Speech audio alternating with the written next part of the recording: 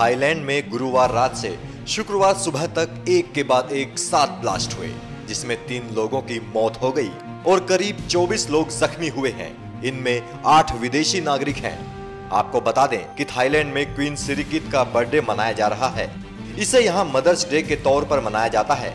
Analyst, diplomat और कुछ officials in blast के पीछे उइगर मुस्लिमों का हाथ होने का शक जता रहे हैं। पहले दो धमाके हिंद रिजोर्ट के पास हुए। इनमें एक शख्स की मौत हो गई, जबकि 20 लोग जख्मी हुए। इसके बाद सूरत थाने में दो धमाके हुए। यहाँ एक की मौत और तीन लोगों के जख्मी होने की खबर है। पांचवा और छठा धमाका फुकेत में हुआ। यहाँ भी एक व्यक्ति जख्मी हुआ है। इसके बाद सातवां धमाका त्रांग में हुआ। घायल होने वालों में आठ विदेशी नागरिक हैं। ये सभी धमाके मोबाइल फ़ोन से डेटोनेट करके किए गए हैं। इनमें किस तरह के बम का इस्तेमाल किया गया है? फोरेंसिक टीम इसकी जाँच कर रही है। इन सीरियल ब्लास्ट के पीछे उइगर मुस्लिम ग्रुप्स का नाम सामने आ रहा है। आपको बता दें कि उइगर मुस्लिम वेस्टर्न चीन का माइनॉरिटी ग्रुप है। पिछले महीने थाईलैंड की जुनता सरकार ने 100 उइगरों को चीन रिपोर्ट कर दिया था।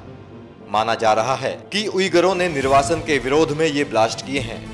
प्राइम मिनिस्टर प्रयुक्त चाँद ओचा ने कहा, इन बम धमाकों का मकसद सिर्फ़ अराजकता और भ्रम की स्थिति पैदा करना है। इस बम ब्लास्ट के पीछे मकसद स्थिरता, बेहतर इकोनॉमी और टूरिज़्म की ओर बढ़ रहे हमारे देश को रोकना है।